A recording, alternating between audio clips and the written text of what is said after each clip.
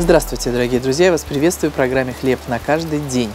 Сегодня у нас с вами четвертый стих 55-го псалма. Он один из самых коротких стихов в этом псалме, но достаточно актуален, потому что многие люди живут в этом состоянии и не знают, как из него выбраться, и не знают, как забыться, потому что те, которые угнетены чем-либо по состоянию эмоций, то они не могут сбросить сами эти, э, этот гнет и это давление – но тогда, когда мы начинаем понимать, э, как Давид из этого выходил, сейчас мы как раз и посмотрим. Когда я в страхе, на тебя я уповаю. Сегодня так много людей не знают, на кого уповать. Кто-то уповает на свои доходы, кто-то уповает на свою молодость, кто-то уповает на своих близких и родных, кто-то уповает на свои контакты, кто-то уповает на свою специальность, кто-то уповает на бункер. На кого и на что угодно можно уповать. Но это не спасает. Потому что каждый человек уязвим, независимо от того, даже на какой позиции он находится. Сегодня он там есть, завтра его там нет. Если посмотреть на правителей, которые были в разные сезоны и в нашей стране, то мы понимаем, что люди, которые, казалось бы, вошли во власть и могли управлять ситуацией, наоборот, теряли, многое теряли. И государство, которое у нас перестало быть таким, как оно было раньше, и даже тот правитель, который выиграл Вторую мировую войну, каким образом он жил последние свои годы, в каком угнетении, в каком страхе, в каком состоянии мании преследования. То есть о чем это говорит? Да то, что человек уязвим, и все, что он делает на этой земле, это сопровождает потом его как свита.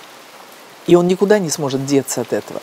Потому что есть написаны простые слова, что человек идет в свою вечность, которую он для себя избрал, и вслед за ним идут его дела.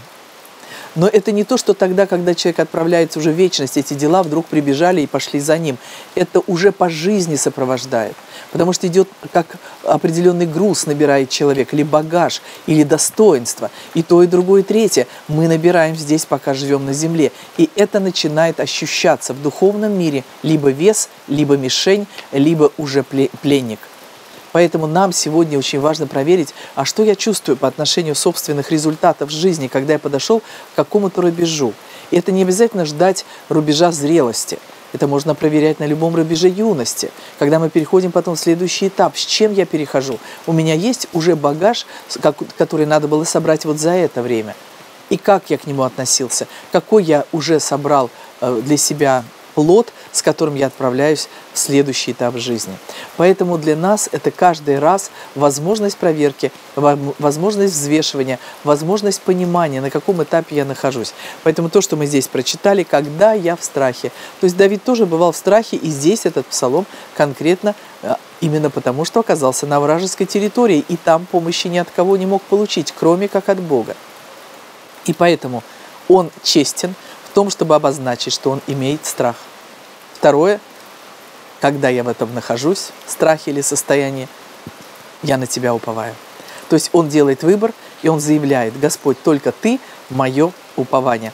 Поэтому я желаю, друзья, чтобы мы сегодня не на страх смотрели, не на количество поводов к страху, которые можно посчитать или, не, или уже даже не сосчитать, но говорили о том, на кого же я уповаю, кто является кормчим на моем корабле, кто стоит у штурвала, кто вообще позвал меня в это путешествие, кто дал мне дыхание жизни, кто выкупил меня из всяких адских планов. И поэтому наше упование пусть будет возложено только на Него. Небесный Отец, я благодарю Тебя, что мы сейчас здесь, на этом месте, чтобы сказать Тебе, Ты знаешь, как Ты до этого места нас вел, сохранял, оберегал, и какие пути у Тебя есть для нас в грядущих днях. Мы хотим пройти с Тобой, потому что упование свое мы возлагаем именно на начальника и совершителя нашей жизни – на того, который является первосвященником нашего исповедания. Будь с нами во все дни жизни. Направляй нас туда, где Ты уже ожидаешь накрытым столом в виду врагов. И благослови нас прийти к финишу с результатом собственной жизни, который порадует небо и порадует нас. И пусть сегодня происходит эта ревизия, какие дела идут вслед за нами. Есть ли что-то, что надо отделить покаянием – либо надо усилить благодарностью и упованием на Тебя в грядущих днях.